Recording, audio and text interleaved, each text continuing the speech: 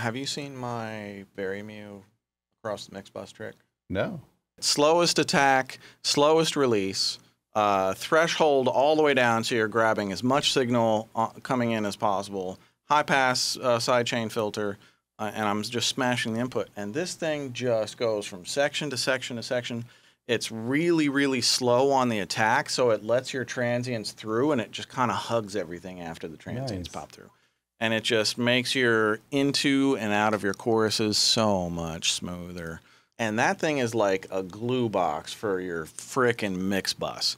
It, you can't use it on like big heavy boom bap kicks on like hip hop, and you can't use it on EDM because the drops you need too much dynamic range between the verse and the drop. But almost anything else, it's like the cheat code. You just put it on and forget it, and it just makes your transition so much easier. It's Wow. ridiculous. That's awesome.